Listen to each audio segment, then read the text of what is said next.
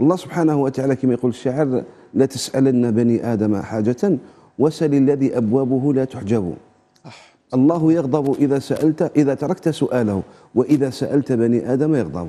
يعني أصلا أنت الله تبارك وتعالى يحبك أنك أنت تسأله هو وتطلبه هو. أكيد.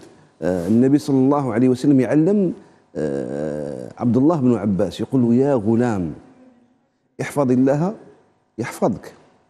احفظ الله تجده تجاهك. إذا سألت اسال الله. فاسأل الله.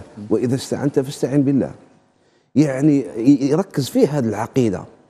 يركز فيه هذا المعنى حتى يبقى دائما عزيز يبقى دائما عنده هذاك ال- الروح تاع تاع تاع تاع العفة والأنفة والكبرياء. جميل. فمحتاجين أنه هذا فيه خلل في العقيدة يعني. صح، صح، لما صح. الإنسان المشكلة دوكا وصلنا ربما بعض الناس ظروفهم الاجتماعية ربما تضطرهم إلى أنه وحنا قلنا هذا خلل. خلل صح صح. لكن بعض الناس يعني اتخذوها حرفة. حرفة سبحان الله. ولات وكأنها يخرج صباح خدام قدام الناس. وبالابناء ديالهم. إيه إيه. يعني وظيفة عمل يعني كما يقاسم الادوار وهكذا. وهذا هذا يعني من الناحية القانونية مجرد.